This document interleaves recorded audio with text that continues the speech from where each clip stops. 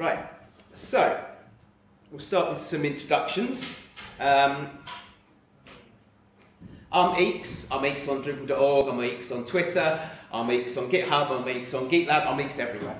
Um, and I've been using Drupal since 4.6. Um, and I make, I'm a freelancer, works on projects for the better world, usually back end, but sometimes it's small NGOs, so then I'm a full stack developer. Um, what about you? Um, who here has made a custom entity? Put your hands up. Okay, so most people haven't done so. Those people who do do so, do you do it regularly? No, right, okay. Um, and how many people do do PHP programming? Hands up. And happy with object orientated? A few less. Okay then. Um, so, kind of about the right aim for the talk, to be honest. Um, I'm going to do everything from scratch. The first part of it, we will have a custom entity before we're halfway through the talk, and we'll have used it, and it's all going to be good. Um, we'll look into more detail afterwards, but and when we go into more detail, there'll be more code, but I'll explain all the bits of code. But if you've got some idea of inheriting objects, then it's really quite simple. Um, and if you are, if you've done it more often, it should there should be something new for you at least. Okay, so first of all, why you should use custom entities. Um, well, I'll actually start. Oh, God, chop it off a bit. Shout if it steals a bit that shouldn't do. Um, we'll start off with when you don't want to use them. Um, if you actually do want nodes, um, nodes come with stuff like access control with the grants. Um, the node access control, that's on its way for entities, but it's not there yet. Um, if you really do want taxonomy terms, um, like you want hierarchy in a lookup table, or you want media entities, so you've got your media entity type, and you want different plugins for the different types of media. Or you want users, you actually want your entities to log in. Um, or you want a custom entity that someone else has already written, like group module. Or the example I was going to use for this presentation, and I was about to write it, um, is it's really, you know, if you use blocks on the website now, you have content blocks, and the editors can edit the content blocks, but they go in the database. And they're a real problem to stage because sometimes you want blocks that don't change so often and you want them to go into configuration. So you can put them in your Git and then you can deploy them on different sites. So a really good example of a simple custom block would be a configuration block, a simple block that works in configuration, not in content, and someone's gone and written it. so it's on Drupal.org, it's called Simple Block, um, so I won't be using that as my example here. But for anything else, if you don't need the stuff with, from nodes and all the rest, custom entities should, should and probably will become your default entity. If you want a taxonomy term, use it, but the rest of the time you want to use something else. So um, you, you want to use them when you want a really simple entity um, that doesn't have a title, date, owner, revisions, access control, status, public URL, or it does want some of them, you just want to use the ones that you want. Or when you want a better admin user experience. Have you ever made a website where you then make lots of different node types? But actually the node types aren't really all the same, you know, some of them are articles or something are completely different. And you want them in different places on the admin interface. In fact, you might want them in different places because they want to have different permissions. So some admins see this and some admins see that. Um, I'll give some concrete examples on the next slide. Um, so it's really hard to separate them out if they're all nodes or they're all taxonomy terms. Um, and in fact, it makes much more sense architecturally because if you're bothered, it's not only where you show them on the admin page, it's also where they go into the database. They're separate, so you've actually got a better architectural model for the future. Um, and then the last one is the opposite of the first one. You can have really simple entities that don't have all the trappings of a node, but you can also have really complicated ones that do um, lots of extra things so you don't have to use lots of hooks. So if that sounds a bit abstract, the real use cases. Um, you can have small bits of reusable content. So the, I asked around, why do you use custom entities to a few people? And the ones that came back all the time were these small ones, like um, carousel slides. You want to have an entity that will just have the bits for the carousel slide, or the reusable bits of content that you just refer to by reference all over the place in paragraphs or in blocks, and you don't want them to be accidentally indexed. So someone does a search on Google and they get a search result and they go to node 1234 and it's got your fragment of content. Um, and it's completely out of context and your lovely professional website for a government looks like a disaster. Um, so you can have them on an admin URL with access control on them and you can just reuse them in the correct places. One example of that, and I'll read this because it's someone else's example, was they made a site, it was for a campaigning NGO, and they wanted reusable calls to action instances that either appeared in blocks or, ref or references in paragraphs. And it made the user experience for the admins much easier because it's one of those NGOs where it's very tightly controlled. Very few people need to make the calls to action, but lots of people need to reuse them. And they could just make a new paragraph, click on it, and reference the one that they wanted in the location they wanted it. Another example that came up twice, one is a site I've built, um, was, and one is another person, is locations. So locations, they're an entity, you know, they have things like addresses and points and information. Um, but um, they're not articles like nodes and they're not taxonomy terms, there's something else. Um, in my case, they were attached to groups and events. Events have a location, groups have a location. In the other example, which we're effectively going to build in the next 10 minutes, um, is points of interest. And the thing about points of interest is you have different types of points of interest. So they have different fields. So one point of interest will have one type of field and another one will have different types of fields. That would be more content types if you were doing it with nodes. Um, so we'll see that. Another site I've built recently had products on it, but we weren't going to sell them on the site. So we don't need commerce and we don't need all of that, so we just make products. And we make a product entity type and you can have different types of products and different fields on it. Um, Another one that I did last year was subscriptions. So the subscriptions are associated with users, so it's like a profile field, but the subscription could be for the whole family. So then you've got multiple users sharing the same subscription. Um, and this was a classic case of where we wanted more control because it then had to synchronize with a customer relationship management system, a CRM at the other end. So every time people change things on the subscription, we needed to do an action to push this information or pull it from the CRM. So having your own entity makes it much easier. But we're going to start off with the nice simple bit and look at a location example. And it's really easy. Um, we're going to do, we're going to make that custom entity in code. We're going to configure it we're going to make bundles, so these locations, so we'll make two types of location. We'll put some fields on it.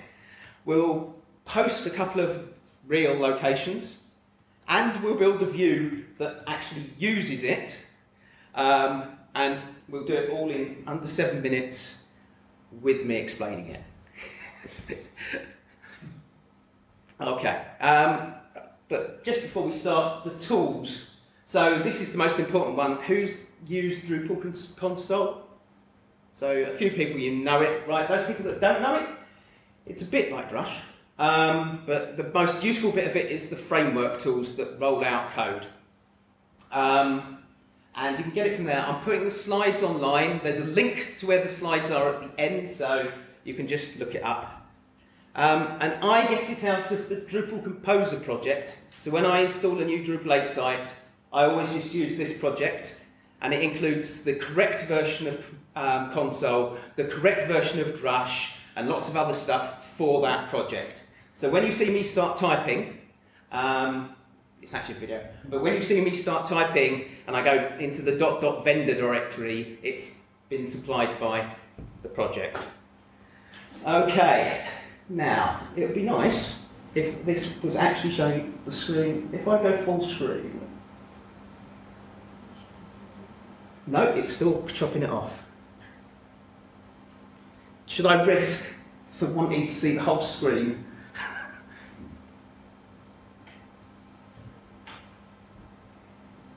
Uh, I'm just trying. Ah! I don't. Uh, should I risk changing the? You need to increase the font anyway, so we just set it right. Um, no, the actual well, the actual thing should. Let's just change the resolution and hope that it helps. That'll help.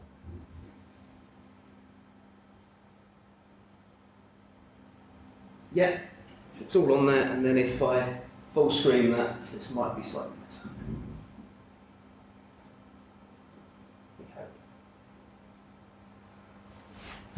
It's very difficult navigating from down here. Yes. Is it full screen?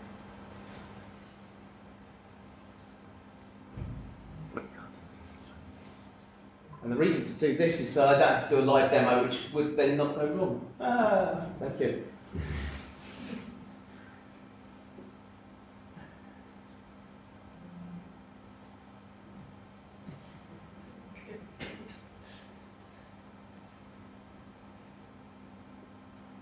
Yes. Okay, is that still visible in the light? So, um, Can we switch off some lights? Or? is, is there some light switch there? There's one as well. Whoa! Yeah. It's either on or off, I take it. But now we can read it. That's good. okay, so I'm just about, if I can find my own cursor. Where are you? There we go. I'm just about to run console just to show um, all the commands. You'll see there's a, a load of commands. Um, and yeah, this is where you'll see that it actually overlaps a bit with Drush. But what we're most interested in is all these generate ones. Um, and so the first thing I'm then going to go and do is run the generate command. Be nice if I had my notes. Thank you very much. Um, and I'm going to generate a module to put the new entity into. So it's just going to be called location entity, which is a dumb name, but that's what it shows. The only thing I don't let it automatically do is make the theme um, files, just because then I'd have to mix, use the theme files from this and the theme files from the um, from the field, from the entity itself. So that's the only thing I say no to. Everything else is just the defaults. Although we do have, so that's already made it. You like. Um, so you've just made a module already. Problem solved. Um, now we just generate a content entity. Um, which will give a slightly better entity name. And it's going into the default admin structure path, but we'll change that later on. I'm going to have bundles so that we can have different types of location. And again, accepting all the defaults. And this, this means I do accept translations and revisions, which adds lots of files. If you just do a simple config entity, it's like nine files. If you do a content entity with everything, then you get a lot of files. Anyway, so you can see it's not there yet. Now I just enable the module.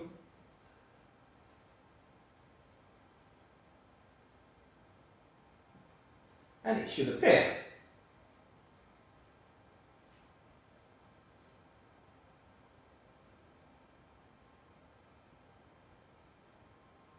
Fresh. And there it is. And we're done, basically. but I'm going to prove to you that it does all work, and if you're just a site builder, that's all the code that you actually need to do, because we're now be able to use this new content type. We're going to add two bundles, two types for the location. Um, one of them is a museum, and museums We'll have fields on them, just a simple field for the opening times. There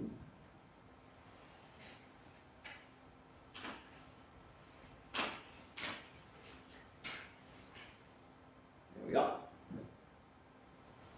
And it only has one set of opening times, so that's nice and easy.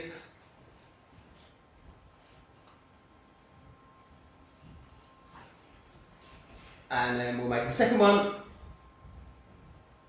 which is football stadiums, stadiums, and of course they have a different set of fields, like for example, which clubs play there. And that will be a multiple field.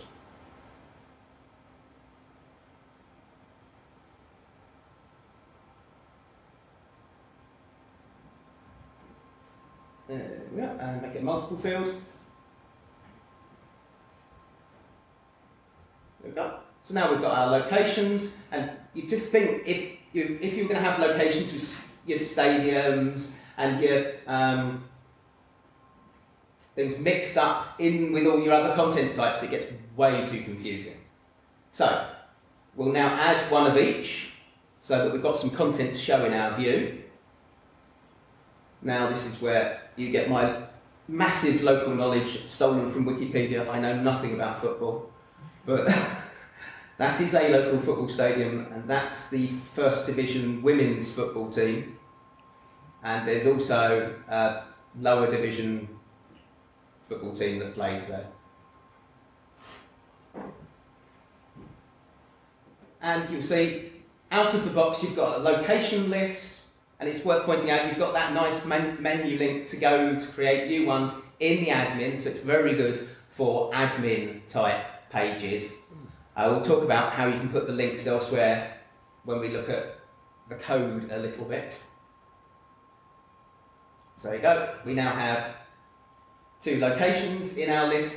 You'll probably want to override this with a view so you've got more details for your admins, but that's the default one that you get out of the box. And we created it with all the fields by default. Now, I'll show you how you can get rid of some of the fields in a bit, but for now, you can still, like you would normally do in the UI, change which fields are enabled or disabled or displayed. So, but you can actually change it in the code as well. And here, just to prove that views works, we could make an admin view to replace that default one, but we'll make a simple page. You can see our new entity is available there. We could choose from the bundles, but we'll show them all. We only make two items. And show the location entity because it'll be quicker. And save it. And then I unnecessarily resave the page for some reason. And then visit the locations and it should be there. There you go. And there are our two shown up and done. So, and then zoom in. So that was under seven minutes, and so that's in under seven minutes, and we've created the entities We've done everything, so for a lot of your use cases, that's all you need to do. Um, in fact, they're the two commands that you need. Um, you'd use the Drupal console to generate a module, and you use Drupal generate entity content, which is the content entity, or the config entity. The difference between the two, most important difference for you, is the config entity um, you can't put fields on.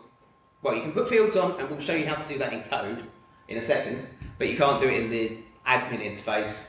And the and um, the config entity goes into your configuration, so it exports when you do drush config export, and the content entity goes into your database, and you can do stuff with the storage, which we'll see in a second as well.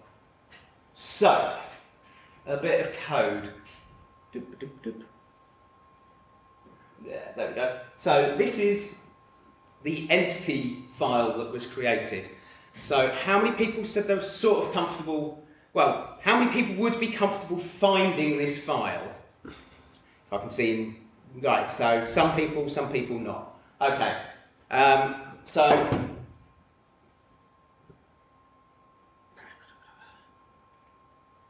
um, it, how many of those people who aren't, of those people who are comfortable finding it, how many of you would have done it because you use an IDE? as in PHP Storm or something like that. For people who can't see, there's only a few hands up actually. Um, and of the people that wouldn't know where to find it, do you have, how many of you do have an IDE? So PHP Storm, Eclipse, something like that. One or two hands, okay. That, the IDE will definitely make your life easier if you're using Sublime Text or Nano or something else, it's slightly harder to navigate around to find these files that got generated.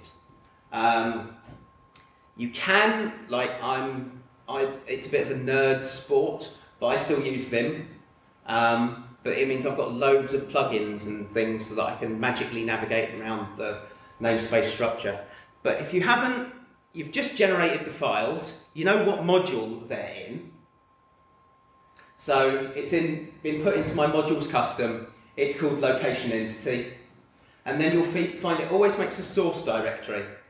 And then inside the source directory, there's another directory called entity, which matches up with the namespace for the fact it's going to have all the entity information in it. And then the file itself is named after the class, after the class itself. Um, it's a standard that's also used in, it, well, it comes from a, an agreement across most of PHP. This is how we're going to structure the files. It's called PSR4.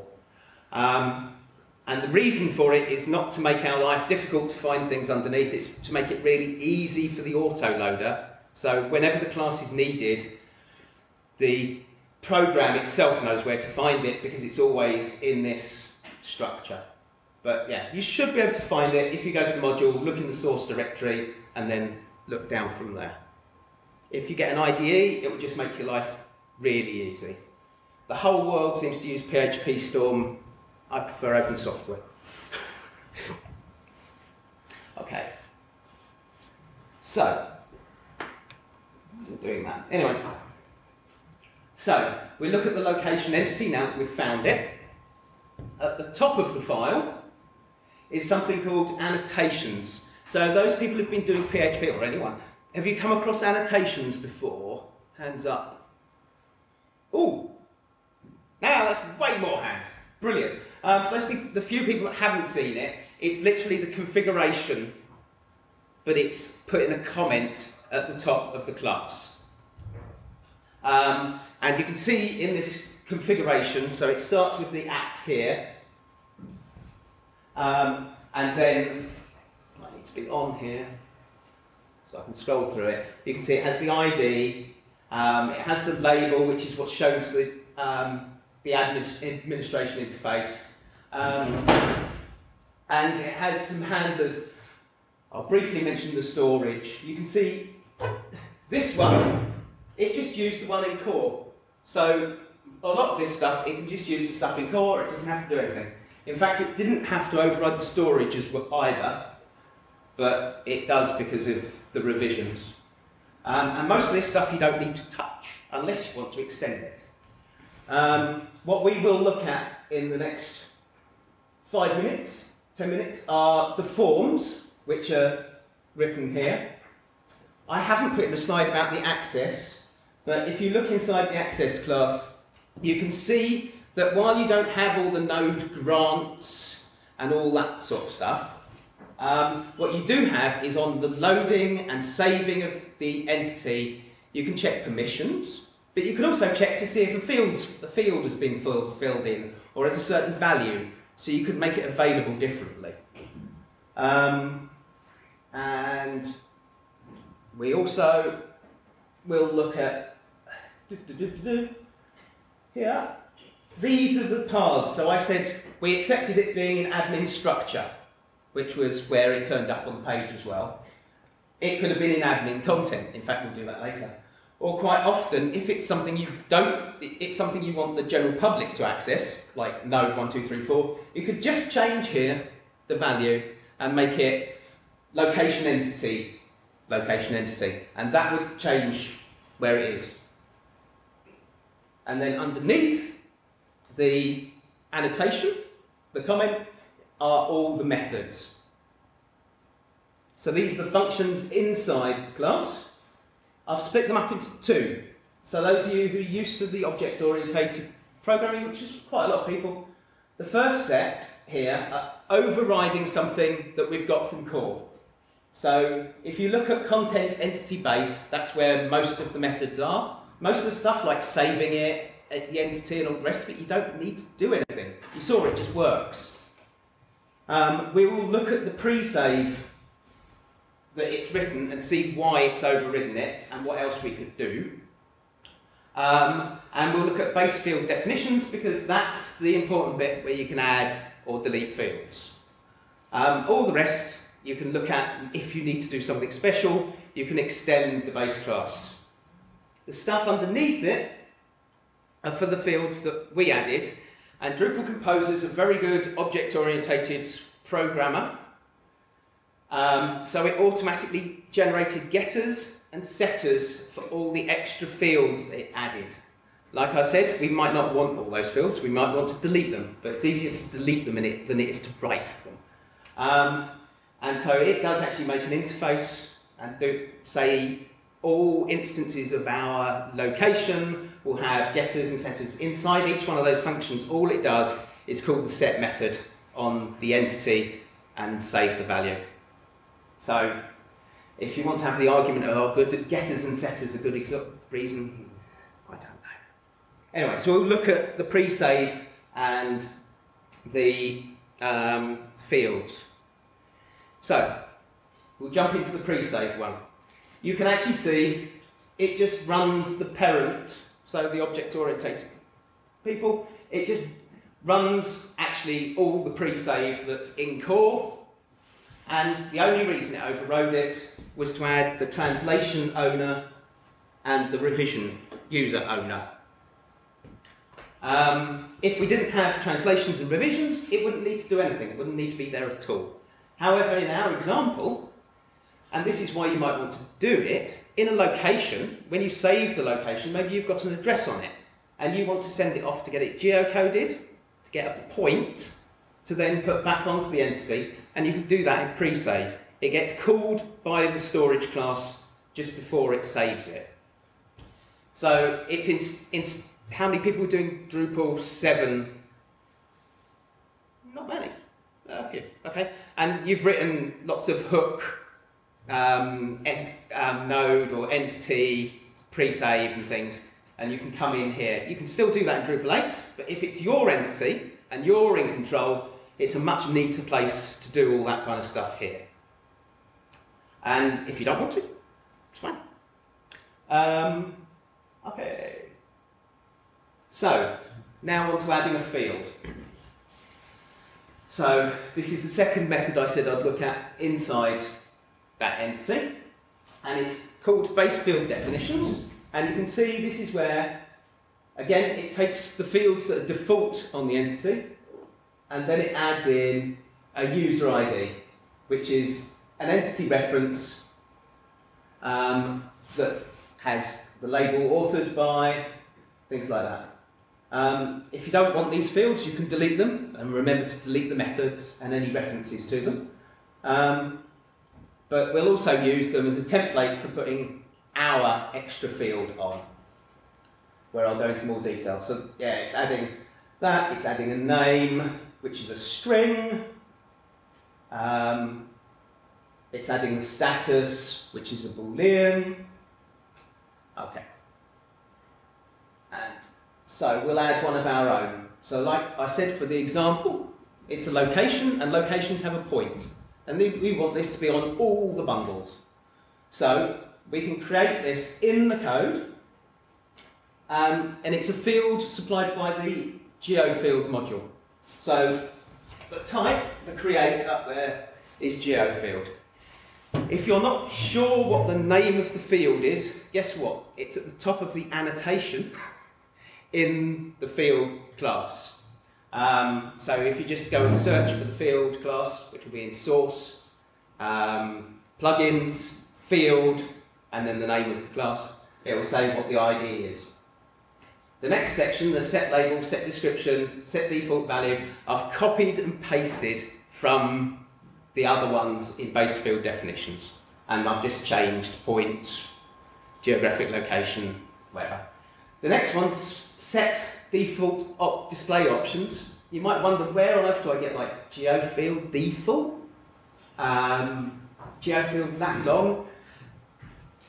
Technically, I think the correct answer is you go and look in the code and you see how it's set. Um, I just made it in the UI, exported it. You do a drush config export, looked at the YAML file and found the settings and just copied them across. It's much easier. And I suspect most people do that. So that's how to work out what kind of default settings you might want. Okay, after changing it, the field won't appear yet. And we're back to using Drush. I said I preferred Drush. Um, if you run, there's a command that works with new versions of Drush that are for Drupal 8 called Drush Entity Updates. And if you run that, it'll update the entity. You can see it says location entity, entity type needs to be updated, and the point needs to be installed. You want to do that? Yes. And there it is, just underneath the name, as configured.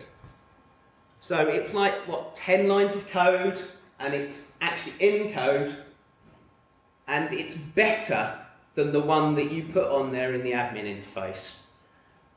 For one, it's shared across all your bundles properly, and two, I wonder if anyone, so this is the SQL database, this is the table for that location entity. Can anyone tell me why this is cool? Yeah? You have your stuff grouped together. Yeah, so if you make um, one in the admin interface, it makes a whole new table for you. Um, and then it does a join. So you have the entity one and you have um, another table which is called entity name underscore underscore field name. Um, and then you have lots of joins. If you make um, single value um, fields directly on a content entity, it actually goes into the database there. Um, so it's one less join if you're bothered about stuff like that. It also keeps stuff together. Um, and if you are bothered about stuff like that, in the future, um, you can do lots more things about the schema and control it. Um, for example, you can add indexes to your database to make the queries better, um, or you can change the queries themselves. And you can just do that by changing the, and overriding the classes in that annotation. If you want examples of that, just look at the node module. Okay, so you'll also see it magically appears on the form. We, in the Drupal world, we're used to the fact it just appears on the form. But, you know, it doesn't everywhere else. You actually have to add form fields. And we had overridden the form over there in the annotation, but there it had just extended the content entity form and added in, but it gets all the fields in the first place. It added one more checkbox for is it a new one to make a new revision? Here we could do our transcode, we could do our show a map, um, add a map onto the thing, pick a point, we could do all that stuff rather than installing a plugin to do it. So you can change your form. Less hook form alters. Brilliant.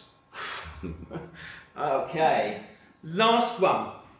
And this is very common. This is something you might have to do even if you're not making custom entities. You want to move stuff around.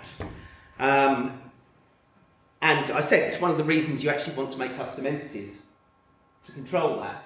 So in the annotations we said we could change the URL. So it could be ad, it could be admin content. But if you changed it to admin content, it's not going to move. It's still going to be in structure. This the link will say admin content.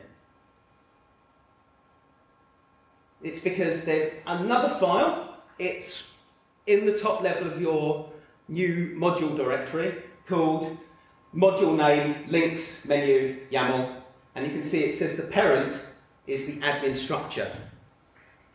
And we want it to be in admin content. If you're asking, what on earth's that?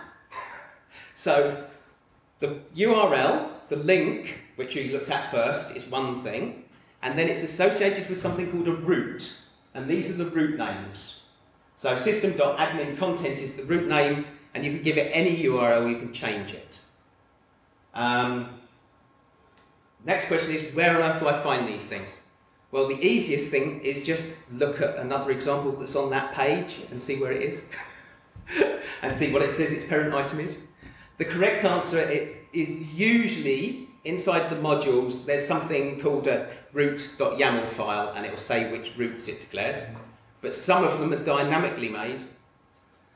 And then you'd have to, then you can actually go to an event which is in the Drupal route subscriber, there's a route alter and you can look at them all or you can dump them all to screen. But if you're just starting, the easiest thing to do is just look for something else that's on the page and see what its parent is.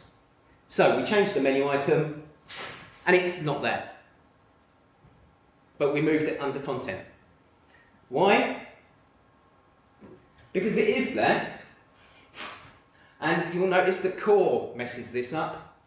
It's in the content menu, but you only see the sub-items of content if you're in this split view and you can see the comments are on both, but files are only a tab and comments aren't, and our location entity list is there, but it's not on the tabs. If you're in the keynote, you will have heard Antje mention wanting to change the way that the menu, the admin menu is, and this is the first thing they want to tackle. So if you ever change the content structure, layout, or have to do anything with it, fill in that survey for a couple of minutes and say what you do, so we can make it slightly less... Huh? Anyway, so we, we need a tab as well. So, it's in a similar name thing, except it's not menus, it's task, because tasks are tabs, usually, but not always. Um, and I've just copied the route names into it, so it's exactly the same content. And now it appears. Boom. Okay, so fair bit of stuff there. So to summarise, what did we do? We created custom entities, um, which was two lines on the command line. We configured them, which is actually, you can just do it in the GUI. Um, and we used them, we made views, worked out how you can start to find the classes if you need to do something else. Um, and once you're in there, you've got the configuration and the things that you can change on there. Worked out how you can, you've got, you've got all of an entity for free, all the code, you've inherited most of it from core, but you can extend some of the things if you need to. You can add native fields. You do need to add native fields if you're doing it with a config entity. Um, and we've extended the form, added things to the form, and we've changed the menu structure. Quite a lot. Okay, so we go back up. Are there any questions? Does someone want to switch the lights on?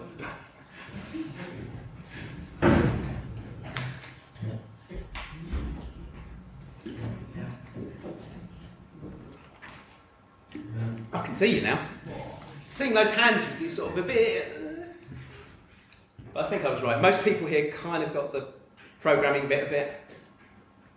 Any questions on it? Nope. Everyone's got to the end of the conference.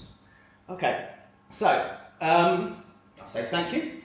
So yes, I'm Ekes on everything. And these slides, if you want to look up any of the links or where the console is, or look at you know how we change things, are up on ekes.gitlab.io Drupal-custom-entities-presentation. So, thank you very much.